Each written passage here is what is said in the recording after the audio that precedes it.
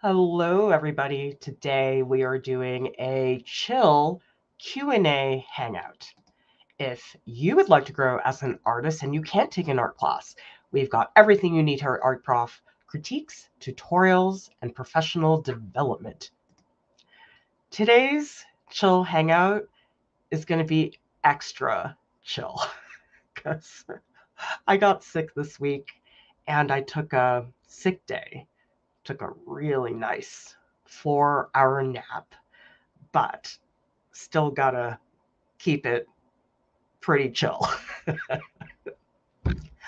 I'll be operating at 50% Prof Lieu energy today, which I don't know what that looks like, but you're all going to get to see it in just about a minute. Actually, I can show some of you some of the goodies that have been arriving because, in case you missed it, right now is our fall raffle. This is going through Saturday, December 9th. And one of the ways you can enter the raffle is to buy something off of one of our Amazon wish lists. So let, us take a look at what's been coming. Oh, you guys will like to see the really big one. All right, let's look at this. Let's see what's in here. Ooh. This is Cretacolor, charcoal powder. Familiar, but necessary. And I got one just yesterday. Oh, here it is. It's in a cute little Amazon wrapped container. Let's see what's in here because one of the things that's really nice about the raffle is oftentimes you guys ask me, "Oh, can you do a tutorial about this material?" But materials cost money, so if you guys buy me something or or you can even suggest like if you want to tell me in the chat, "Oh, yeah, I'd love to see a video about this." You can tell me and I can put it on the wish list because this is a material that I've never used before actually, but I've been curious about for a really long time. And that is, ooh, look at this. Liquid charcoal. Like I, I don't know what the heck this is at all. Has anybody used this before? Because the words don't make like liquid charcoal. What is this? Well, actually, let's open it. How does this thing function? Cannot open containers. Okay, let's see. Weird. Let's see. Oh, that's funny. It's like a little tube. Well, hang on a second. Let's open this up. Weird. Oh, oh, it's coming out. I mean, it, it looks like paint, but I'm very curious to try it. In fact, I don't really know what people typically use it for. Okay, well, the box just says paint with charcoal. All right, I guess we're doing a demo on how to use liquid charcoal. I might do some Googling too, because maybe there's a lot about this that I don't know. Tell me in the chat, do you know what I'm talking? I have no idea what this is. I just have seen it in the art stores and I've been curious. So that's why I put it on my Amazon wish list. That's kind of fun. Because there's never enough art supplies. Never. Actually, you want to see the really big one? and by the way, if you give a super chat or a super sticker during the stream, that also enters you into the raffle. Because guess what? I want everybody to think about this for one minute. We don't have paywalls. If you want to watch our videos, you just watch them. We don't charge you anything.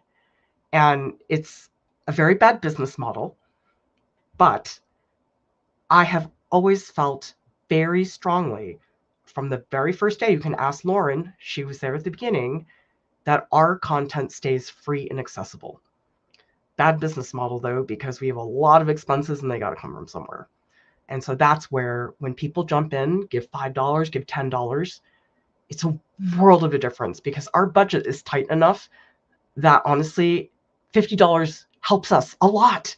I mean, some companies maybe it doesn't matter, but for us, it's like $75 has an impact. So think about it. I know not everybody can do it, but it's incredibly helpful for us to have your support because the no paywall thing is, is, basically i mean we could set up a paywall but our budget problems would be over but i don't want to. And so that's why we need people to step in. Amanda says you can apply liquid charcoal to charcoal drawings without having to make wet charcoal and make a gigantic mess. Oh so maybe you start with a dry charcoal drawing and then you add liquid yeah, Anna, it looks like black paint, but I don't know. I'll try it on a live stream. Banana Nut says, just got charcoal pencils to try for the first time. I'm not really ready for liquid yet. charcoal pencils, I like them in very small quantities. I don't know, they're always sort of inconsistent. There's always a one that has a little hard spot, and then it scrapes into my paper. It's not my favorite thing. Thank you so much, Adesua, and also Jen for the super stickers. Jen says, thank you for not having a paywall. We so much appreciate your support, everybody. Because I'm very proud that we have been without paywalls for almost 10 years. Did you guys know next year is our 10 year anniversary. And it's been a slog to keep it that way, but I want to keep it that way. Okay, you guys want to see you want to see the dramatic raffle item? I can't even take the whole thing out. It's, it's I'm not going to unbox it yet because I'm going to do an official unboxing, but look at this. See this? It's pretty heavy too. Look at this thing. Any guesses? Does anybody think they know what this is? Let's just say I put it on my Amazon wish list thinking nobody's ever going to buy this. But they did. And oh my gosh, I'm going to make a whole new series of videos because of this item that I'm really excited about. There's another one here. This one is not as big. It's a lot lighter this one. See? Uh, this one, I don't think is going to be so much a teaching tool as much as it is going to liven up my studio space. I'll do an unboxing of this one too.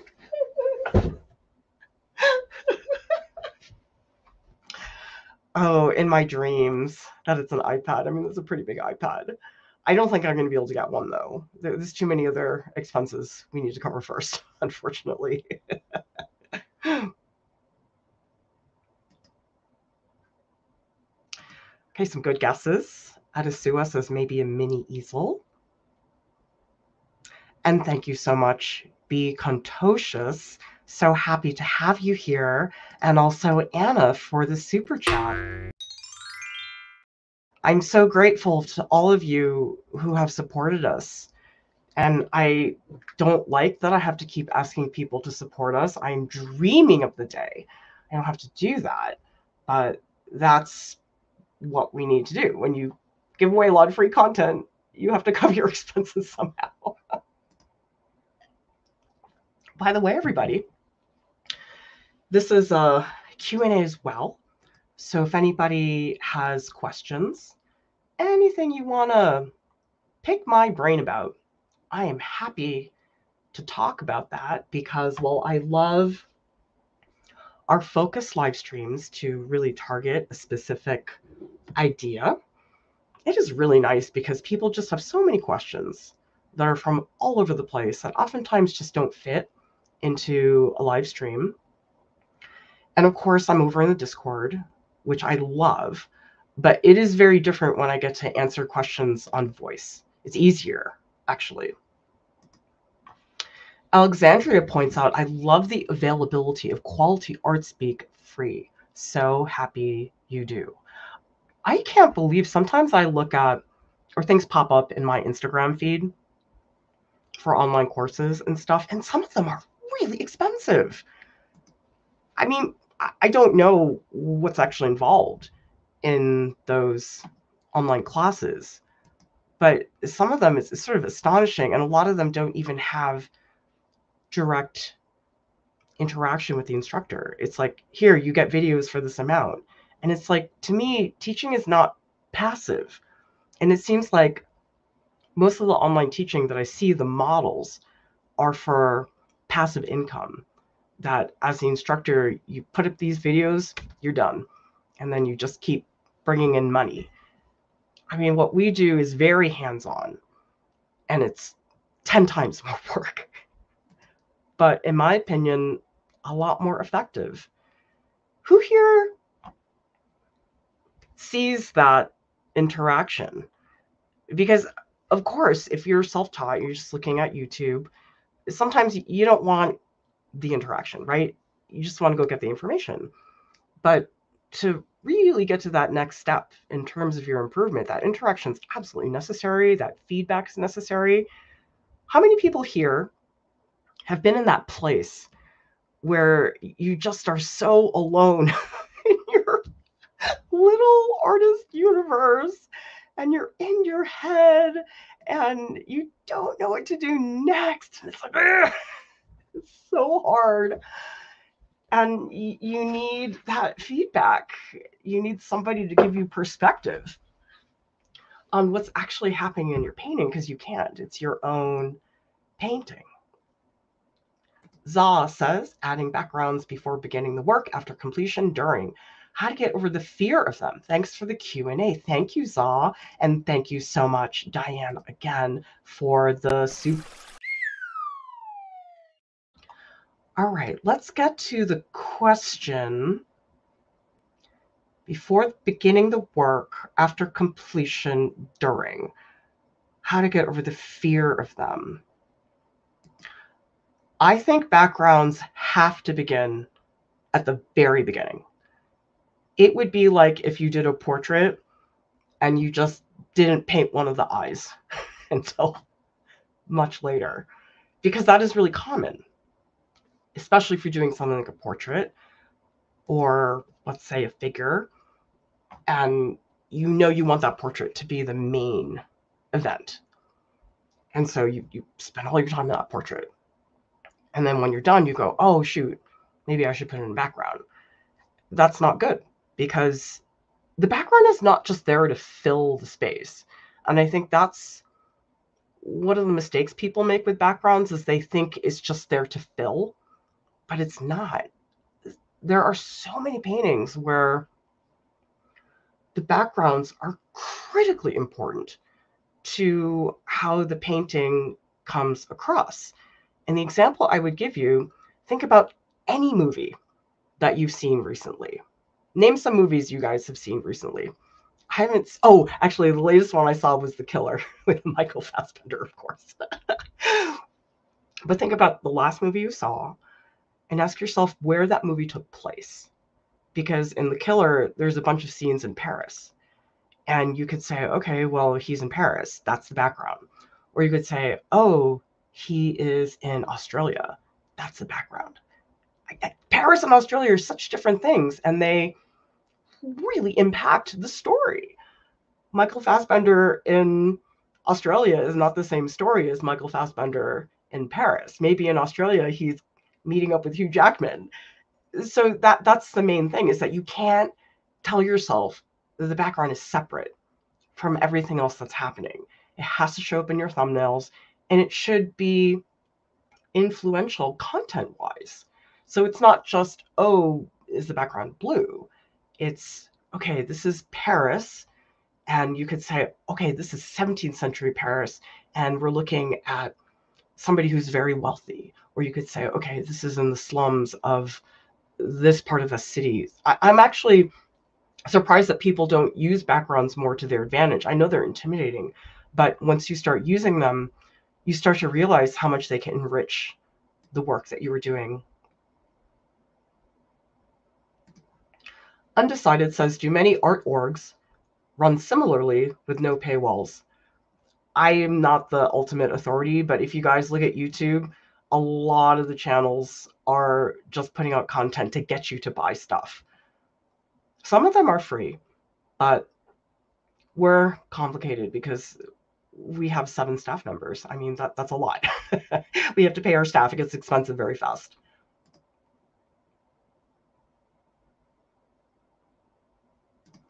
Zal says Art Renewal Center is sort of paywall free. You can see standard res versions of the classical library, paid workshops. Yeah, we do have paid workshops as well, but we have a ton of content. Like all our videos, they're free. We don't have any videos at all that are behind a paywall.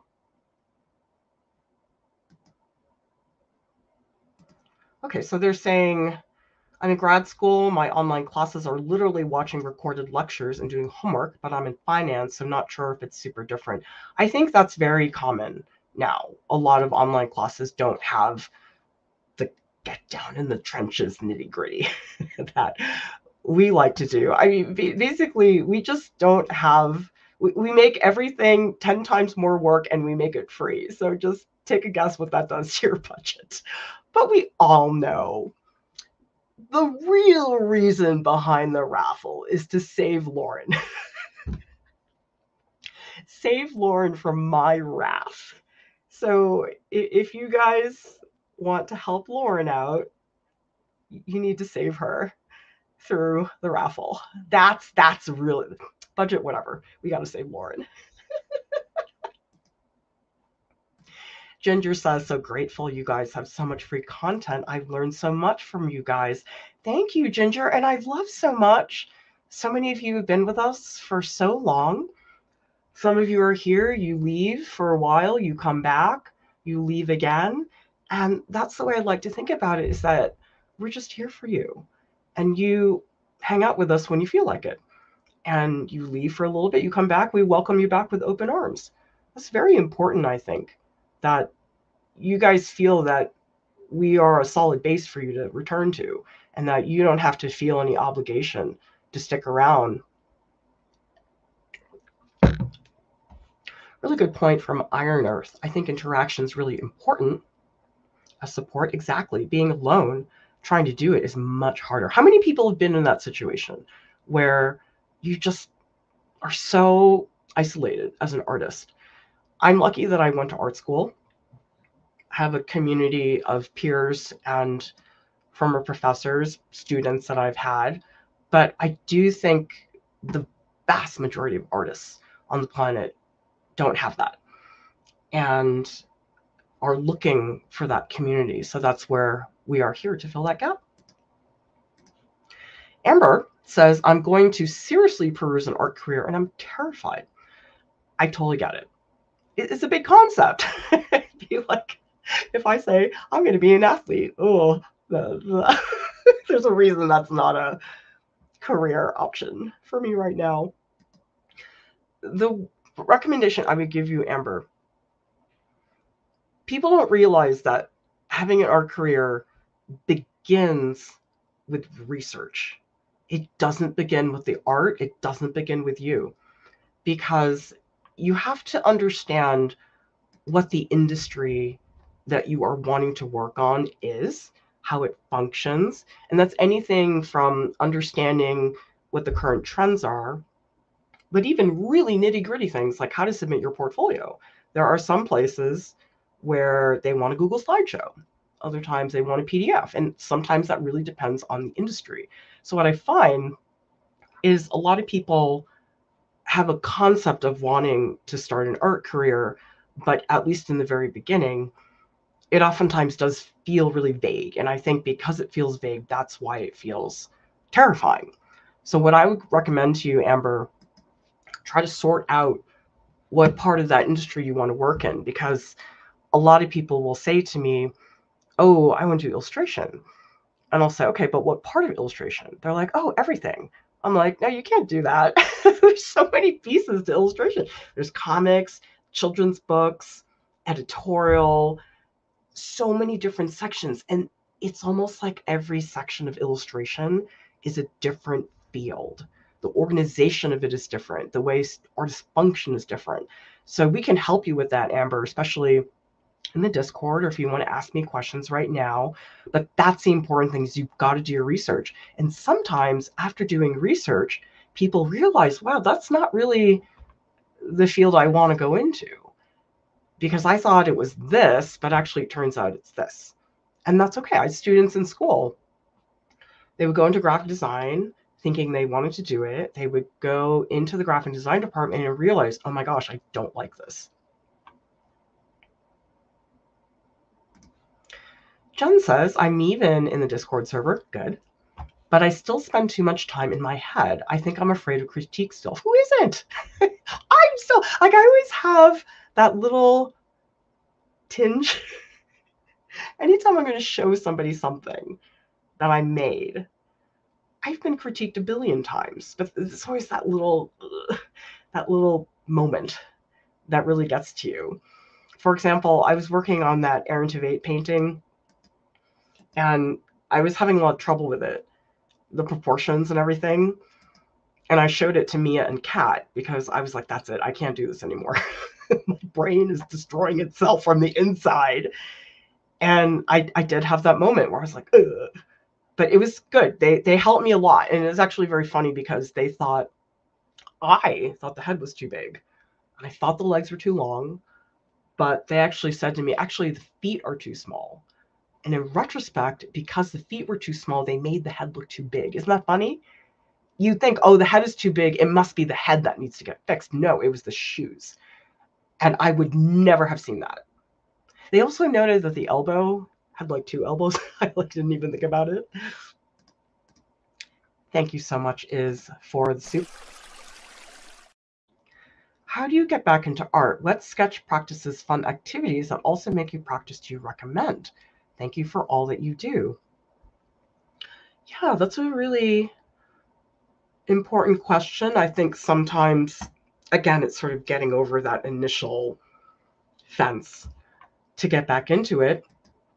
We do have a ton of videos that are sketchbook prompts. And I think people like those because they're really simple, they're not difficult, but they're within your sketchbook, so they still feel really low key and they don't feel like you're starting something. I mean, one of the sketchbook prompts draw what's in front of you. I know that sounds really silly, but it's like there's a command there that you just do. And because it's your sketchbook, it's not a big deal.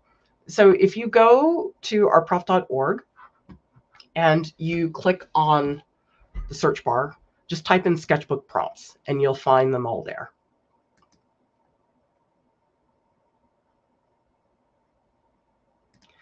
Banana Nut says, self taught in that early learn all the things simultaneously phase it makes me dizzy sometimes. Oh, I know. It's so overwhelming, isn't it?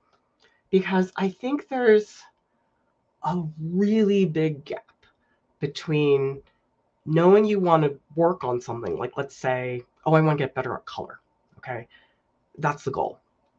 But to go from that to actually doing something is really a big leap for law. And people don't know how to get from one thing to the next for good reason. I mean, unless you're a teacher, which you're not, that's why you're there. My recommendation is going to be for you to try our tracks because our tracks are a sequence of video lessons and prompts. And so it tells you exactly what to do in what order. And I think you would like those a lot. They're on our website.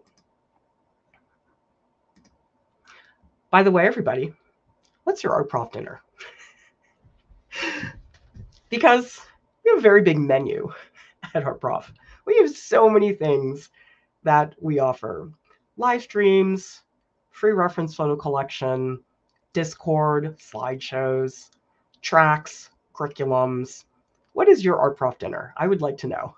Because you know what? Art Prof dinners are free. We pay for your Art Prof dinners all year long. You just come in, dinner's on the house. So, this one time, we want you to pay for one appetizer, not even the whole meal, one appetizer. That's it. And so, if you enter the raffle, you cover that one appetizer for us one time. And again, in case you missed it, if you give a super chat or sticker during the stream, that will enter you into the raffle. We've got a question here from Thundering Spring. Do you have any recommended resources for learning to photograph sculptures on a black background? I'm really struggling with lighting that don't make the objects look super different. We have a big page on artprof.org and it has everything you need. We have slideshows with examples, we have walkthrough demos. So just type into artprof.org is it photographing or photograph? Just type in photographing your art, photograph your art, one or the other, and it'll take you to that. But I can tell you, Thundering Spring, Spring black backgrounds usually are not good for 3D art. You'd think they would be because you would say to yourself, oh, if I have black in the background, and let's just pretend you have a white sculpture, oh, that's going to be the best contrast. Actually, it's not. For 3D work, I always recommend to people have a neutral background. So, like a medium gray or maybe a dark medium gray. Having black is actually very hard because the contrast is too strong. So, I suspect that if you switch to something that's a medium gray, or it could even be, it depends on the color of the sculpture though. I would recommend a different color based on the color of the sculpture, but sometimes even off white is better. Sometimes white makes it look really flat. It's very tricky. But if you go to that page on our website, it has everything that you need to know, and you can always follow up with questions in the Discord.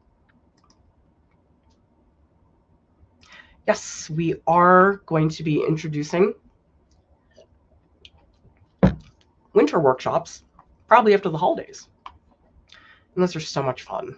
I love hanging out with you guys. Look at this. you guys love this. This is Kat's Art Prof Dinner. I just love this.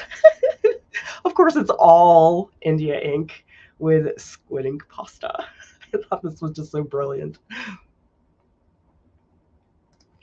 Yeah, Meisuko says Lauren also has the best art student videos. Did, did people enjoy Lauren behaving like the world's most obnoxious art student? Do you guys want to see more? Because, oh boy, I've got 15 years of obnoxious art student stories.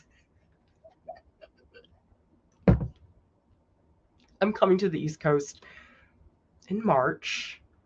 So we're probably going to do another round of in-person shoots and I was thinking it'd be really fun if we just had art student parody sketches.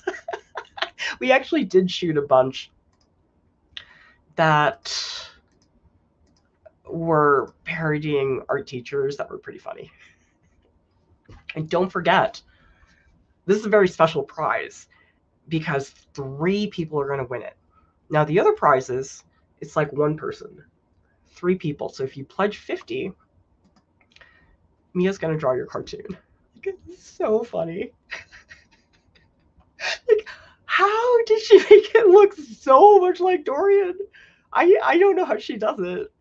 But yeah, if you pledge 50, and not a lot of people have done that so actually the chances of you getting it are pretty high now because three people have are going to get the prize. Well, thank you, Sai. Glad our videos have helped you. Clementine says, time zones exist. How do the workshops work? What times are they held? I usually hold them on Saturday from 12 Eastern to 3 Eastern. Usually that's able to get people in the US and also people in Europe. I think that's an evening time. That seems to be a good time for a lot of people and for me as well. So yeah, you can get information if you go to artprof.org and click on workshops in the menu bar, you, the, all the information is there. well, Alexandra, you don't have to develop a community. We have one. you just join ours. it's really easy. Iron Man is asking, strengthening artistic voice it seems like a goal to aspire to so as not to include 5 million ideas in one piece of art. Should beginners use the series idea to guide their work or too soon? I don't recommend it usually for a beginner because usually if you're just getting started, a lot of people like to feel that they have some degree of skill under their belt. And the whole thing about a series, which is challenging, not only developing the materials, but you also have to engage in terms of the content. And that's oftentimes a lot to balance. And so I don't really recommend doing that in the very beginning. But I would recommend that any beginner that you don't separate brainstorming and skill. That's a big mistake. How many people have heard this? I'm just curious because I, I'd like to know where this comes from actually. People will say, I have to learn technique first. I have to learn how to draw realistically. And then when I once I've learned that, then I will start to do brainstorming. Have people heard that? I hear that all the time. And I think that's such a big mistake because it makes you really lopsided. So you end up with somebody who's really skilled, but who has no idea how to engage with their content. And I saw it in my graduate school. I saw people who had just stunning technique, way better than anything I could ever do. But I mean, it almost felt embarrassing to me that the ideas behind their work were just so basic compared to the richness of their skill. And so I would rather have somebody be doing both brainstorming and gaining their skill, and both of them not being that great, but then that they grow together than somebody like gets stellar skill and then wait later for the brainstorming. So that's more what I would recommend.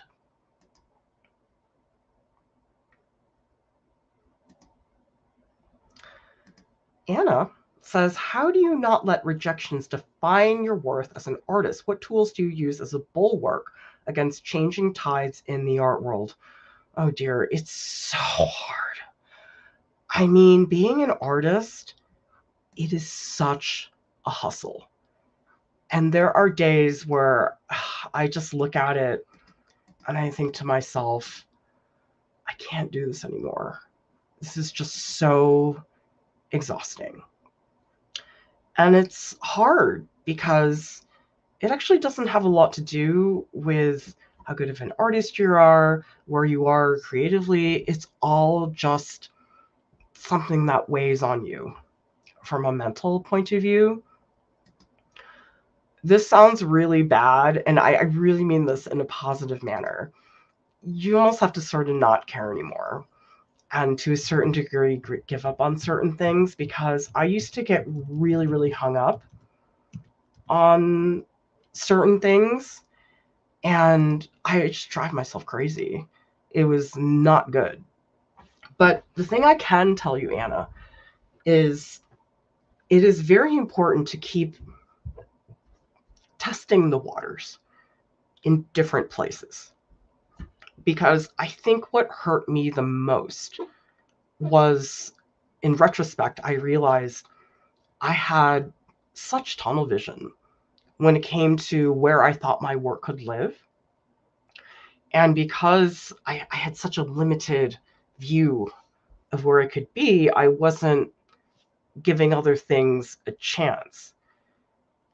It could be that this was all a really long time ago. I mean, this is before social media was what it is today. And I do think social media has made more things more possible.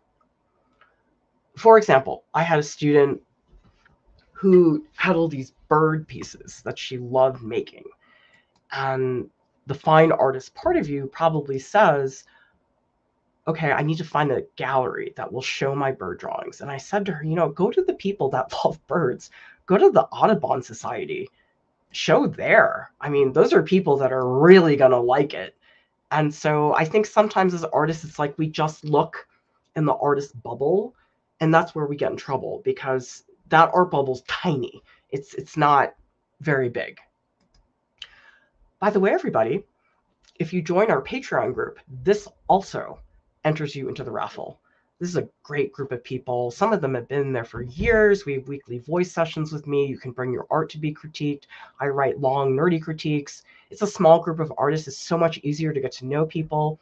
I love our public Discord, but it's got 11,000 people in it. It's hard to make closer connections. And Patreon group is a lot easy. And we don't have the three comment to one artwork critique rule that we have in the public channels.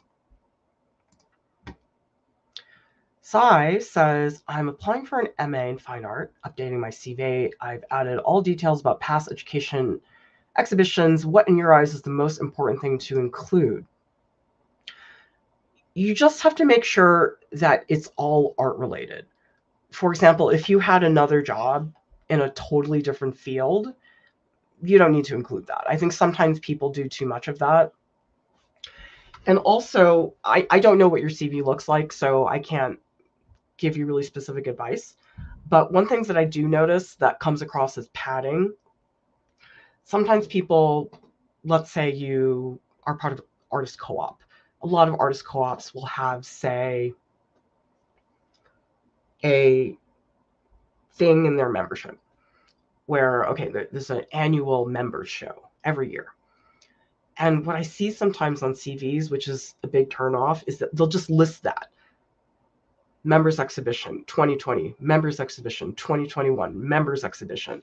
It's like you don't have to put all those in there. Like yeah maybe you participated in 10 of them but just list it twice or something. I, I think it's more about making sure whatever's in there doesn't look like you're just trying to make your resume longer because you can spot that from a mile away i'd much rather see a cv that's short and that has stuff that really has substance than something like that Undecided Toy Store says, How do you like being the founder leader of Art Prof versus being a professor in academia? I've heard so many crazy stories the downsides of being in academia. How much time you guys got? if you want the whole sob story, type into YouTube Art Prof why I left RISD. I'm not going to get too much into it right now, but all I can say is there's a reason I'm here. And it was very hard for me to leave academia. I wanted to be in academia my whole life. It was always my dream. And I walked away from it. I mean, can you imagine what that's like? It's like you work towards something your whole life. But I knew once I hit about 35 your ship starts sailing. And I, I could read the room. And it was really hard and really depressing. But the system for adjunct faculty is extremely exploitative. And it was just constant anxiety all the time. And I think a field where they value less the people that have more experience, that's a problem. I'm like, really? So they, they sort of the in a nutshell, you get too old. They don't care if you're a good teacher or not. You you are not fun anymore because you're at a certain age. And certainly there are exceptions. There are some people that get hired when they're older. But I realized after a little while, as applying to all these academia jobs, I noticed the people that were getting the jobs were like way younger than me they were out of grad school like two years. And once I started seeing that pattern, I was like, that's it, it's over. So yeah, I left. Best decision, but it was a very hard decision for me to make. It was very emotional. Adesua says, can you get into the editorial illustration area of work with a sketchy or not vector style? Oh, of course. There's illustration of all different styles if you look up, I'll type it into the chat. Look up Ralph Steadman. He is one of the most renowned illustrators out there. He, he's been around for a very long time. He's not new. His work is all sketchy, spontaneous ink splats, and or another person. I'll type this into the chat too. Edward Corin. Or oh, you know who I really like? Type this in. Edward Steed. I know you see a lot of vector stuff that is trending right now in editorial illustration, but it's not the only way to do illustration. I mean, I think that's what happens is stuff gets trendy. And so people assume, oh, that's the only thing that the illustration industry wants. It's not that, is you have to find the right spot for it because you'll find that different magazines that they have different styles. For example, I was doing some research because I was putting together my freelance illustration portfolio and I noticed that Time magazine they have very realistic illustration. Realistic color paintings. That's what they do. If you look at the New Yorker, they're not like that at all. They are famous for their cartoons, and a lot of the work they do is more graphic and more stylized. So, a big part of editorial illustration is you have to research the publications and figure out, oh, what kind of illustrations do they like, and is that a good fit for me? All right, we got some Art Prof dinners. Discord, reference photo, curriculums, Q&A. Yes, and by the way, everybody, thank you, Blue, who is a wonderful mod in our Discord. If you can't support us in the fall raffle, and I understand that, that that's why we're here. we're here to help those of you who can't do it. But if you leave a comment, even if it's an emoji, like you don't have to write anything long. YouTube doesn't care if it's an essay or if it's one emoji. If you guys hit the like button, if you leave a comment on any of our videos, that helps us. Well, the algorithms. So that is the way to help us if you cannot contribute.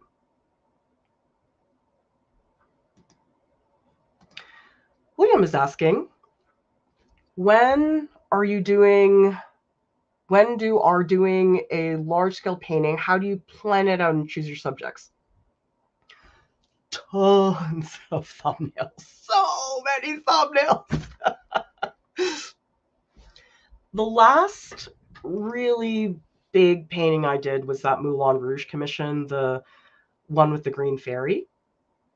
And you would not believe the amount of prep work that went into that. Choosing my subject, I mean, lately I've had this fixation with Aaron Tveit. So he's just all over my radar. And the way I feel about subjects is you don't always plan for them sometimes it just come up and it's like right there and you go oh i'll do that so sometimes it's just out of the blue you can go looking for sure. I did that for my mfa thesis because i had a big project and i knew i had to come up with something. And that actually made it really hard. And so i actually ended up making the thesis about searching that I was looking for something. I didn't know what it was, but I kept looking and it turned into the digging series because the digging was a gesture for searching for things, but not knowing where they were. So it ended up just fine. And other times the subject picks you. Other times there's some context. I mean, I did this drawing of my child. This is not really a big painting, but that was on the live stream and I've had a couple pieces that I started on live streams, didn't have any intention to develop them further, but then did because there was something that came up that I really liked about the piece. So you don't always know, but it's okay to be patient with that. But yeah, large scale painting is just a crazy number of thumbnail sketches. And I'll also do mini painting studies. So not a thumbnail. Okay, thumbnails are small but I'll do, I was trying to see if I have one here, but I don't. So if I'm doing a really big painting, maybe I'll do like a 12 by 16 painting study, quick, sketchy.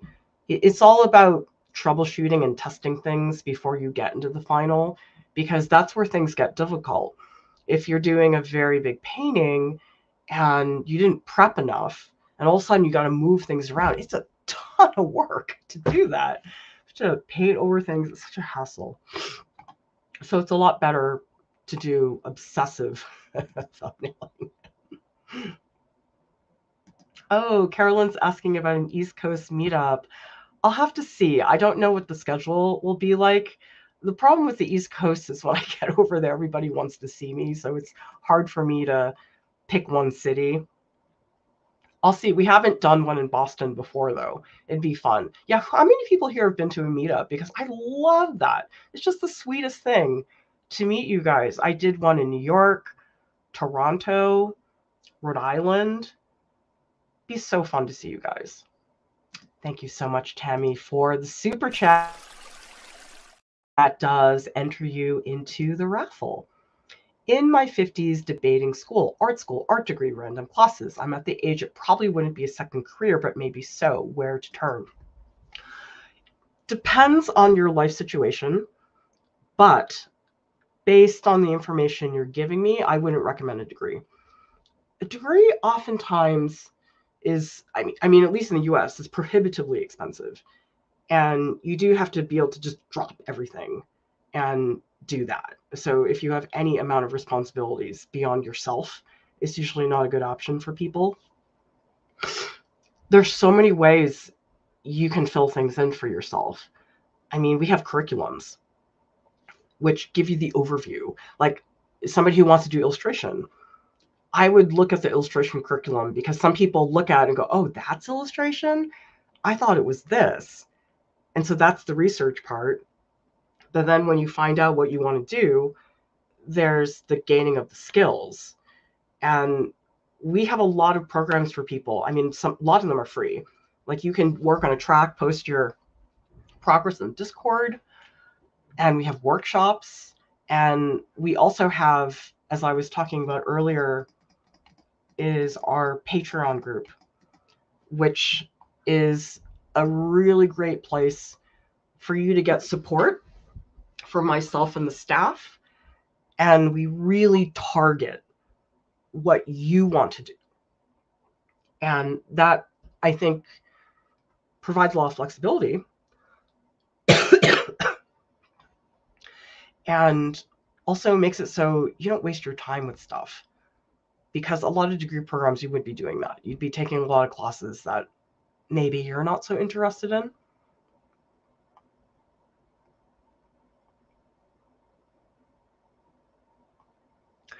Oh wow, I'm really behind on comments. Sorry everybody. But uh I'll try to get through these. Oh, Za, I really like the way you're putting this. Social media has been a great equalizer in the art world. Professional resources like ArtProf, huge for so many of us. Oh, it levels the playing field. I've had so many people who've worked with us and had really good success, have exhibitions, done open studios, and I know a lot of those events are very intimidating. And if you have somebody just there to help you prep, for you to understand okay, here are the most important things, and these things don't matter. How many people here have wanted to do something as an artist? Have a show, have open studios, sell in an art fair, sell online. How many of you have some art goal, but then it's like, where do I begin? I don't know. And I think that's just what a lot of artists are dealing with is they just don't have that little art fairy to help them with things that are really important. I mean, if I just tell you guys four things about an art fair, I could save you six hours of grief. it's really that simple.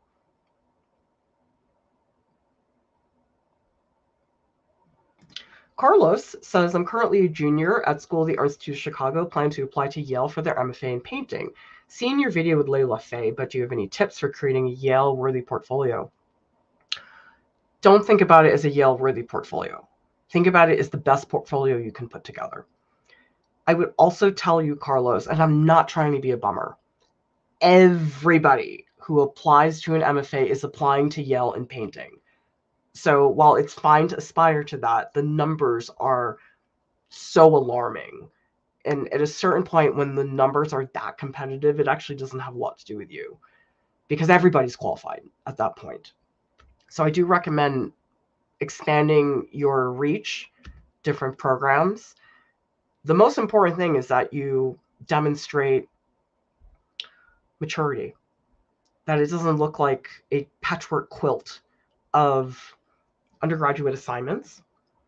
And I would recommend to join our art school portfolios groups because I get so many questions about applying to MFAs, but the fact of the matter is there's such a limit to what you can do in terms of getting people feedback.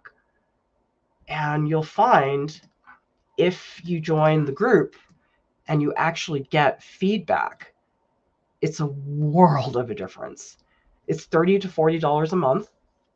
And I'm in there giving people paragraphs of customized feedback because the general advice is great, but it's like it only goes so far.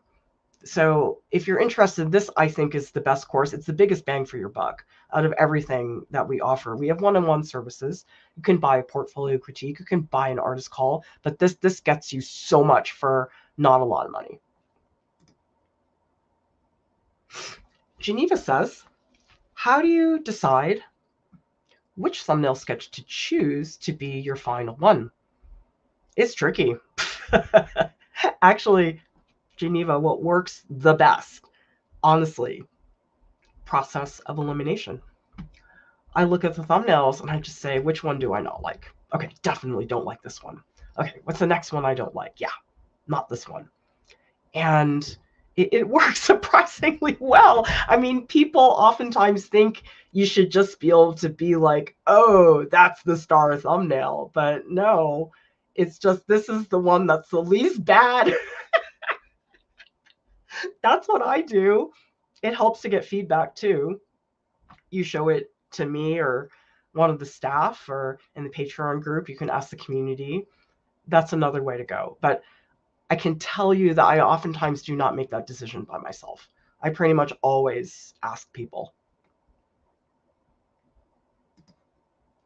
Yeah, West Coast. Well, actually, you guys, I'm going to be in LA in May. So maybe we can do an LA meetup. Anybody here near LA? That would be fun because I, yeah, we haven't done one on the West Coast.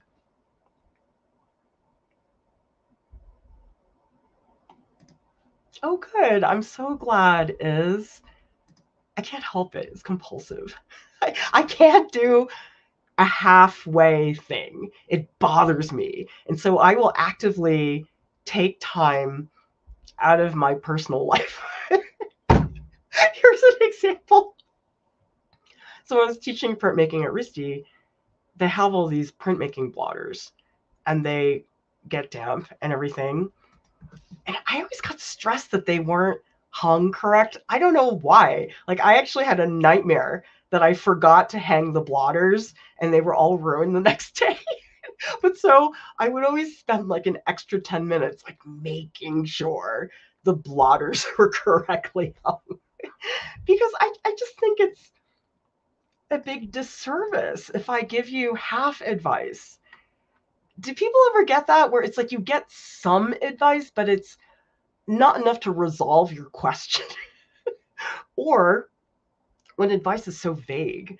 Like if I hear somebody say, be yourself one more time, I just am like, no, that's not helpful. Not at all. People need something a lot more concrete and actionable. Remember, we have been paying for all your art prof dinners all year you haven't had to pay for a single meal. We just let you in and you just go into our buffet of anatomy and slideshows and critiques and Discord stuff. Can you guys just pay for one appetizer? Just this one time, once a year. Actually, twice a year. we do two raffles. But just this one time, just buy one appetizer. That's it. And all the other meals beyond today, we're still going to pay for them. But if you guys can do one thing for us, that would be incredibly helpful because remember, we have no paywalls. You don't pay for a single thing to watch any video with us. And I'm very proud of that, that we've been able to sustain that for so long. And it's very important to me. But we have a lot of expenses, a lot of expenses that people just don't know about that need to be covered. And honestly, the people who support us on Patreon, that is the vast majority of our budget. If you take away the Patreon people, we go under overnight.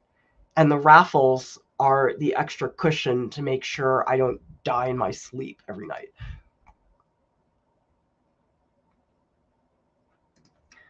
Explosaurus says, What are some art careers that are more peripheral? I'm thinking curation, restoration. Are there other positions like this you can think of, and how is pursuing them different? I don't think I would consider them peripheral. I think I would just consider them to be not as well known because being a curator, you need an art history PhD. That's a major field, being an art curator. And there's actually some master's programs, like BARD has a Center for Curatorial Studies. But most art curators, the assumption is you have an art history PhD, and a PhD is years of study. Restoration probably goes under conservation science. And that is, again, another thing you have to have a degree. They won't let you work in there without a degree. So that's the important thing. Again, the research to understand hey, what do I need to get to be qualified to work in this field? Now, some art fields doesn't matter. You just have the portfolio and it's fine. Nobody cares. But for a curator, absolutely. The, uh, curatorial stuff, whole other field. It's you think it was super related to the studio hands-on part, but it's really not. It's a totally different field altogether.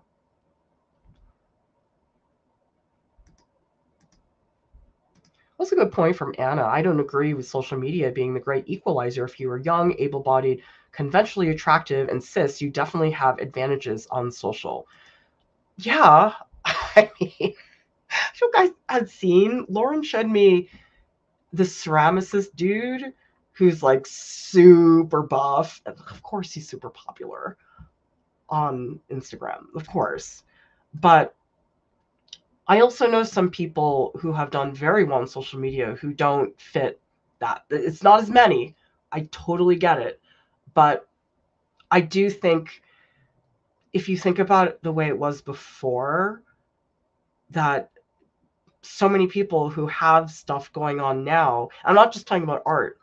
I'm talking about comedians or who is it? Is it Lilly Singh who used to be on YouTube, started on YouTube and now has her own late night show?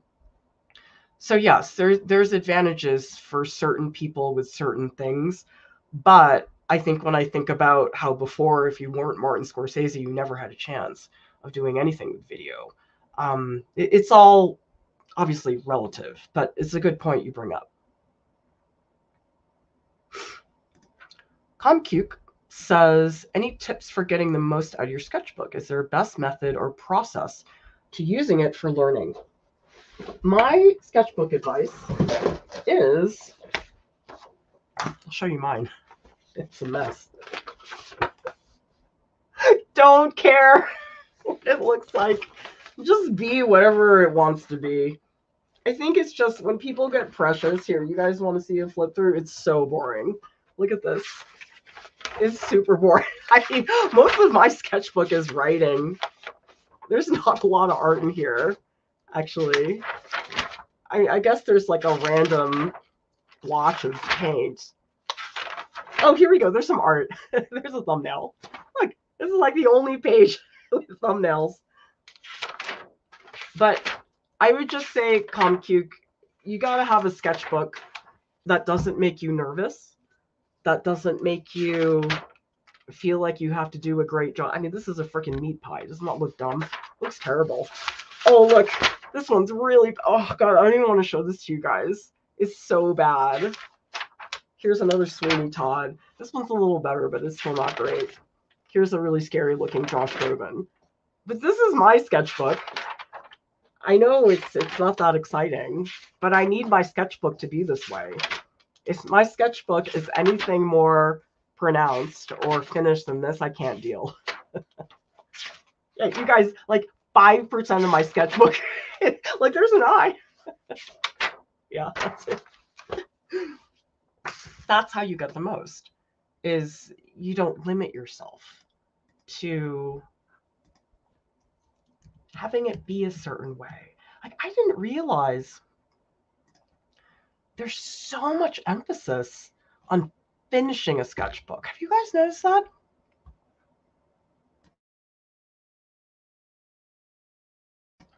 And honestly, I can't remember the last time I finished a sketchbook.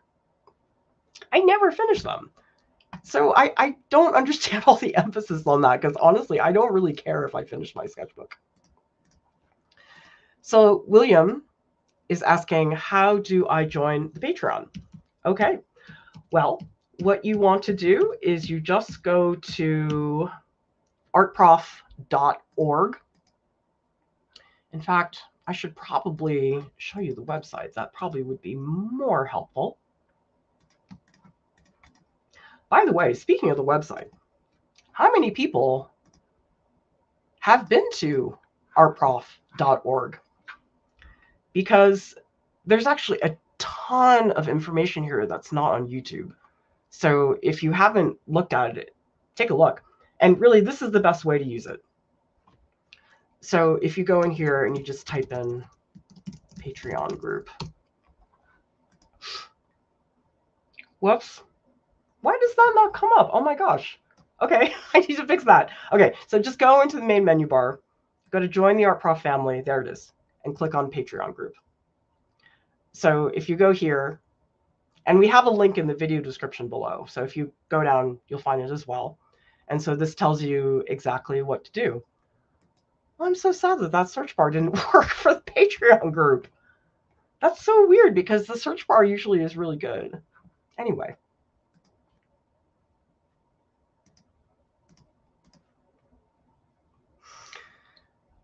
Let's see. ComCuke says, Do you feel it's important for artists to be well versed in art history? I find it very bland. Oh, I do. I really do. And honestly, that's not uncommon, ComCuke, for people to find art history boring. But it does not need to be. It's only boring if you go to boring websites. And art history is really behind. It is usually taught as the stuffy white male who's 70 years old talking about white men in history. And there, there's not a lot of options, which is why look at our art history stuff. I, I like to think we make art history fun, but again, we have a whole art history section on artprof.org.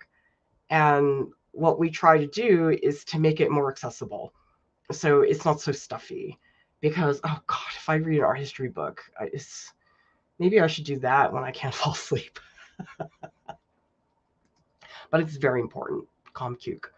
To understand what came before you, and I get it. Instagram's very handy for looking stuff up. But guess what? Rembrandt's not on Instagram. Yeah, he's on some of the museum sites. But there's just so many artists out there that nobody knows about because they're not on Instagram. And so when you guys look for art history and artists to look at, you can't just look at Instagram. You can't just look at a Google search. You have to get to a library and you have to look at things.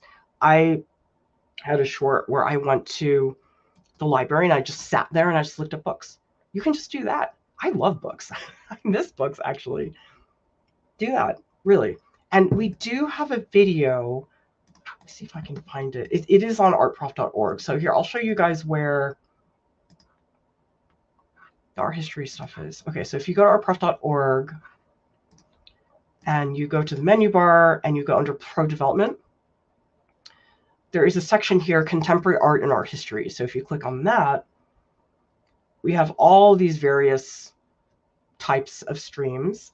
But the one that I would start with is how to start learning art history.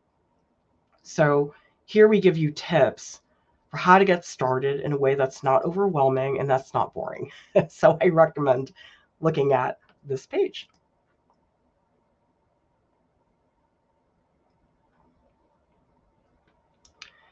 And let's see. Explosaurus says, I think what I really meant was where my work wouldn't be the focus, more of a support role. I didn't mean to lessen the importance or complexity of those positions. Okay, my brain is mush and I totally don't remember what the earlier comment was, Explosaurus. I'm sorry. If you want to repost. Yeah, this is a good comment from DC. Somebody had mentioned earlier about ways to get the most out of your sketchbook. And they say, yep, just use it for whatever you need and don't feel pressured to make it a showpiece. Just draw and learn. Enjoy. Exactly. Lionel says, I've been very bad at sketchbooking. I haven't done it in a long time. Guys, I don't have a sketchbook practice. You saw my sketchbook it's just random. It's this is not a sketchbook practice. I know people talk about having a sketchbook practice. I'm too scatterbrained to have one. I did when I was in school, but not anymore.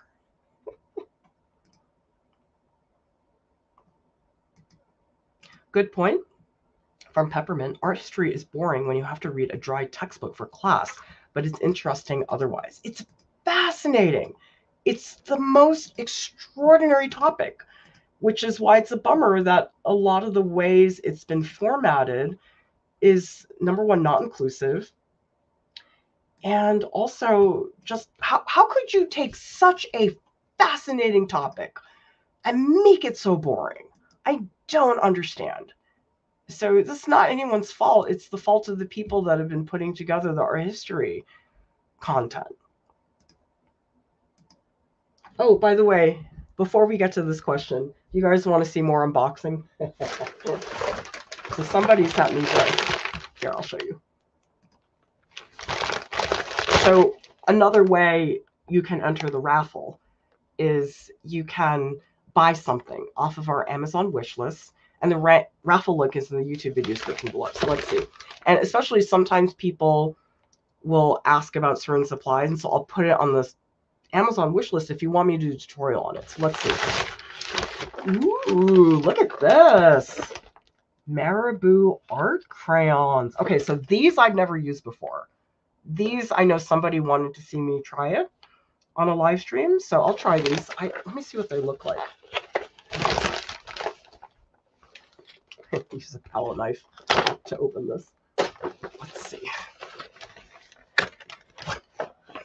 Okay. Cute. Yeah, I've never used these before. So that'll be really fun. And there's one more thing in here. Ooh, look, it's a Posca set. Oh, I'm so excited because I only have a red and black Posca. And I was like, I need the other colors. So thank you. You guys are so great. And then the other one, this one, another one. Let's see what this one is. Oh my god, I need these so bad, you guys. My brush pens are so dead. Thank you all. This, this is so helpful. So remember, that is a way that you can enter Ruffle. Okay. Apexia says, how often should I start a work? Because in my case, I struggle with starting from a list of works I have in my list, and if I start, I get bored and skip to the other. I never work on one piece at a time. I usually have like five pieces in progress. Actually, do I have it here? No. I had a little sticky that listed all the things. Well, I have an editing sticky. This is what it is. I have these stickies where it's like these are five artworks I'm working on right now. And it's okay to do that. I do the same. I get bored. I do something else. So I sort of ping pong between the various pieces. And you know something? There's actually a lot of work I never finish. People think that you should finish everything you make, but that's not true. I have so many pieces that I started and just never got back to them. That's okay. You're not a worse artist. The only time that you must finish is if you have a deadline or it's commission or something like that. Other than that, or if you're preparing a portfolio. But if you're not doing one of those two things, there's no pressure to finish. Finishing is important. It is a skill to develop. I don't think everybody learns it overnight. But unless you have a really compelling reason why you must finish, don't put pressure on yourself to do that. Reminder, everybody, if you give a super chat or sticker during the stream, that does enter you into our raffle, which is going through December 9th. Because, oh, you guys, we still haven't gotten our Instagram back. But I think I found the workaround. I think I, I'm doing it right now.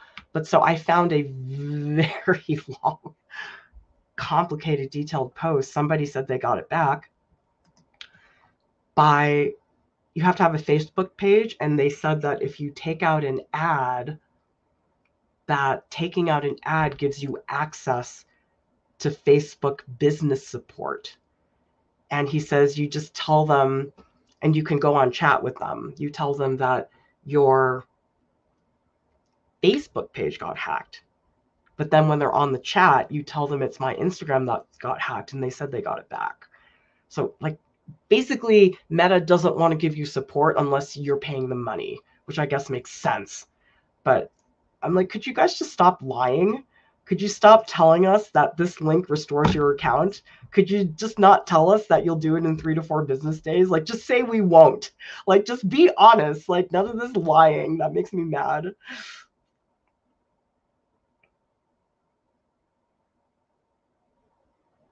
You guys really like the unboxing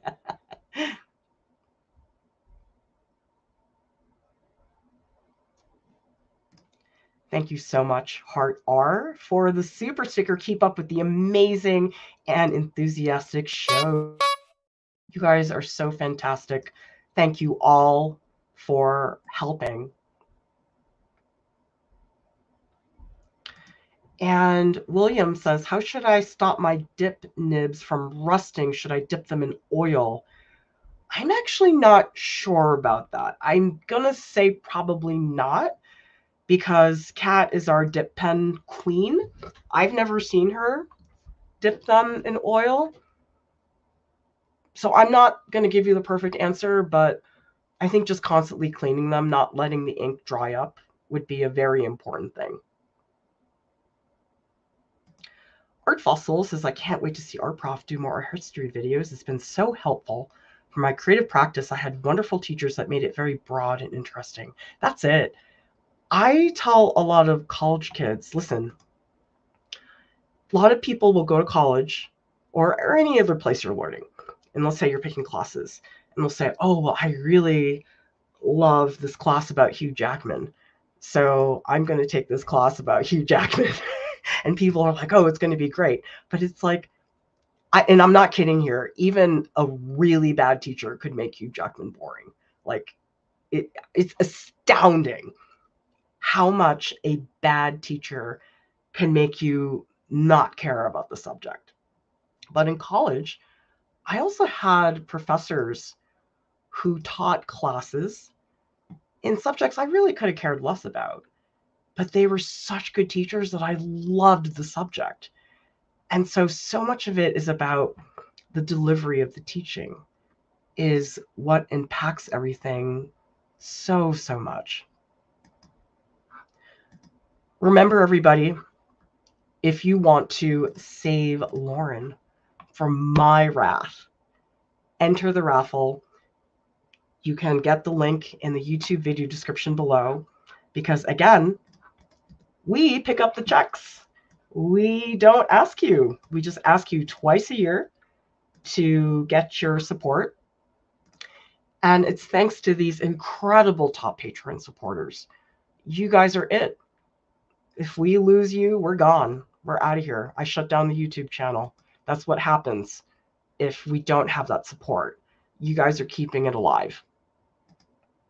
Visit artprof.org. There's tons of content that's not on YouTube. ArtProf has a podcast. It's available on Spotify and also on iTunes. And by the way, everybody, no Discord chat because I'm still under the weather. But I had a lot of fun hanging out with all of you tonight. Subscribe to our channel for more tutorials, critiques, and business tips. Otherwise, Buddy is going to stare at you. Have a good night, everybody. I'll see you next time. Bye.